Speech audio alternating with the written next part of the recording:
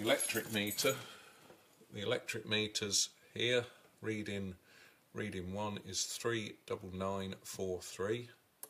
You cycle display it to get the readings to 10375 and the total reading 50318. Um, again, usually your bills are included, so you don't need to do that, but you can always take your own readings if you're worried. Every uh, circuit in the house has a fuse here.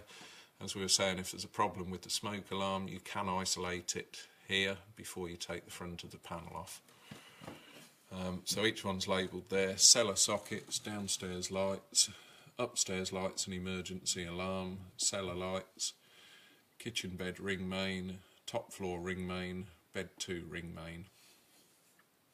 If for any reason a light bulb goes down, one of these trips will go down. Um, for example, if we turn the cellar lights down, you see that the cellar lights have gone off. You need to change the bulb and then push that back up. That'll get everything running again. So all these switches should be on. That one um, again, that one obviously should be in the down position.